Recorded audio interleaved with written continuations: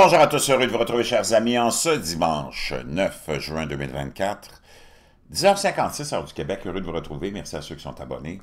Journée importante en Europe, les élections, même si ça ne change pas grand-chose, parce que il faut que tu comprennes que la politique, c'est un outil de la classe dirigeante pour nous faire perdre du temps, puis pour eux, gagner du temps. Il n'y a pas un politicien qui a amélioré ta vie, il n'y a personne qui va me faire avaler la pilule qu'un politicien a amélioré la vie de qui que ce soit, sauf la sienne, personnellement, et celle de ceux qui représentent, c'est-à-dire la classe dirigeante. Puis là-dedans, tu inclus les banques, tu inclus le complexe militaro-industriel, complexe pharmaceutique, complexe euh, militaro-industriel, tout le même monde. Pendant ce temps-là, le petit monde, on a vu, même au cours des dernières décennies, notre niveau de vie en général euh, s'effriter, puis nos droits et libertés disparaissent. Puis on est venu dire, ben c'est pas des droits et des libertés que tu as, c'est des privilèges. Euh, pardon, euh, c'est parce qu'on est, on né de la divinité, c'est pas eux qui vont nous donner des privilèges ou des droits de quoi que ce soit. Tu nais avec ces droits-là toujours dans le respect de l'autre, naturellement, mais c'est complètement surréaliste ce qu'on est en train de vivre. D'ailleurs, tu le vois de plus en plus, les politiciens, les marionnettes que tu vois devant ton écran, sont de plus en plus en Occident craintifs de voir la population s'éveiller de plus en plus comme elle le fait, puis de se prendre en main, puis de rejeter leur idéologie complètement burlesque, sans fondement, qu'eux-mêmes n'appliquent pas dans leur vie personnelle ce qu'on nous impose à nous pour nous amener où? Dans un néant total. Parce qu'ils savent que si l'humain est dans un néant total, n'a aucun fondement, aucune base, aucune foi en quelque chose de supérieur que ces gens-là, ils vont être faciles à manipuler, puis tu vas pouvoir leur faire n'importe quoi. Mais il y a un éveil qui s'est effectué, puis il continue à s'effectuer, cet éveil-là. Et euh, la classe dirigeante commence à avoir peur. Comment tu te rends compte que la classe dirigeante commence à avoir peur? C'est que on n'est plus capable de supporter l'humour. C'est-à-dire que tu as beaucoup, beaucoup de, comédiens, de stand-up comiques, autant en Europe qu'au Canada qu'aux États-Unis, qui se font attaquer, qui se font censurer parce qu'on n'est plus capable de tolérer l'humour. Et on n'est plus capable de, tolérer le fait qu'on se moque de nous, la classe dirigeante et les politiciens, et de nos politiques, et de nos... Ça, c'est le signe qu'un régime commence à trembler. Le régime totalitaire, ignoble de l'Occident. Parce que c'en est un régime ignoble. Tu as juste à penser à des gens comme Bill Gates, Mark Zuckerberg, Klaus Schwab, puis la liste est longue, George Soros. Quand on démonise les oligarques de la Russie, as-tu vu les nôtres? C'est quoi ça, c'est pas des oligarques? Puis la liste est longue, il y en a des centaines et des centaines. Pense à des Paul Martin, pense à des Pierre-Carl Pelado au Québec.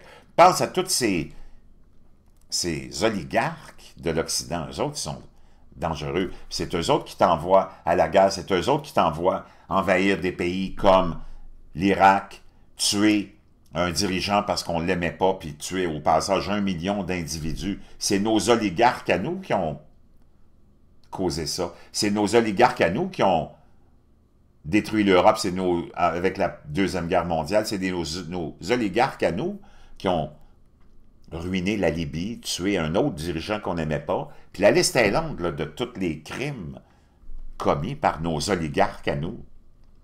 Hiroshima, Nagasaki, deux bombes larguées nucléaires. C'est nos oligarques à nous, ça, qui ont mis ça dessus-dessous puis qui exploitent l'Amérique centrale, l'Amérique du Sud depuis des décennies.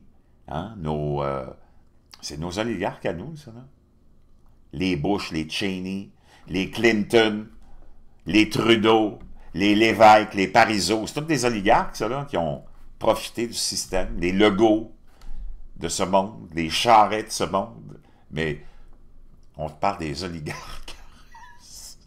Donc, quand ces gens-là sont plus capables de supporter l'humour, c'est là que tu te rends compte que tu es dans un régime vraiment totalitaire et que ces gens-là ont peur, ils commencent à trembler.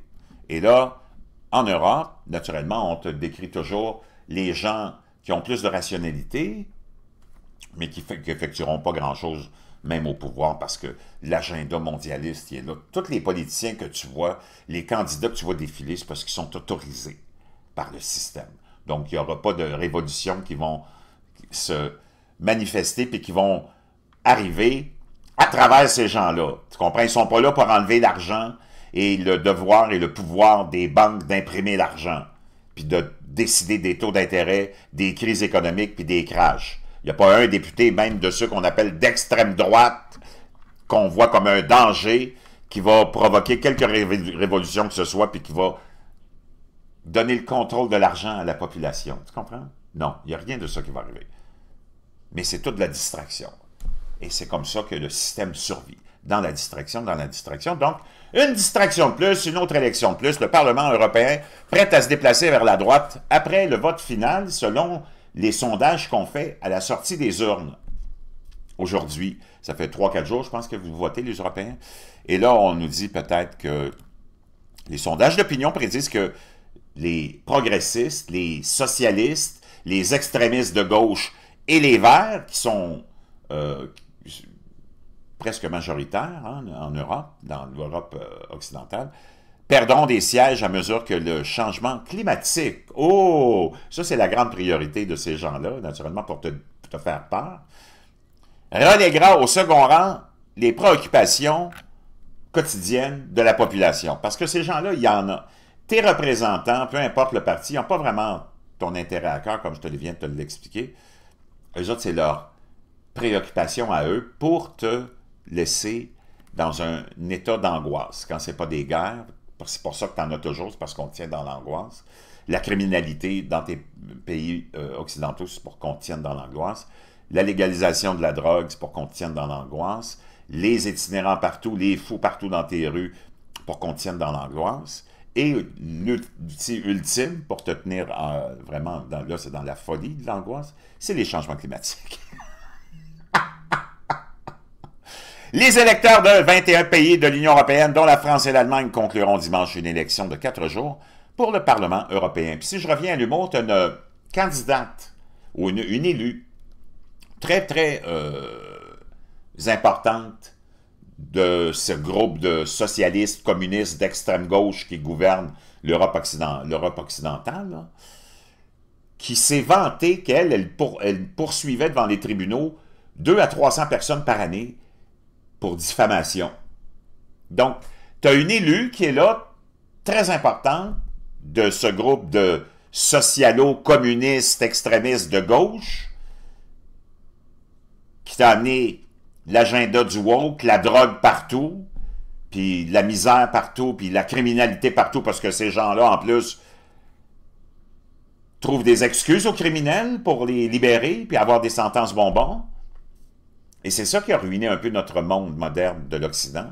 C'est que tu as des têtes de linotte comme ça, de la gauche, de l'extrême gauche, qui nous gouvernent, ces socialo-médiocres, qui ont qui se sont dit, va se passer ce qu'on fait, il faut qu'on trouve des excuses aux meurtriers, aux pédophiles. On va leur trouver des excuses. Ah, c'est parce qu'il était sous l'effet de la drogue. Ah, c'est parce qu'il a pris des médicaments. Ah, c'est parce qu'il était en dépression. Ah, c'est parce que ceci, c'est parce que cela. Depuis quand tu trouves des excuses aux criminels? Un criminel, c'est un criminel. Et naturellement, on punit les victimes dans tout ça. Et elle, elle se vante de... Ça veut dire qu'elle passe toute son année à surveiller ce qui se passe sur les réseaux sociaux, puis elle poursuit devant les tribunaux ceux qui sont foutus de sa gueule ou qui ont remis en question ses politiques ou qui ont émis des commentaires qu'elle les juge euh, offensants. faut le faire pareil, là. Wow!